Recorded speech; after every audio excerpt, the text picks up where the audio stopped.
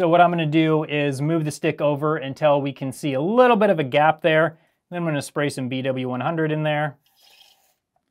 Move it all around. And then just keep going. Okay, let's plug it in and see if the stick drift is gone.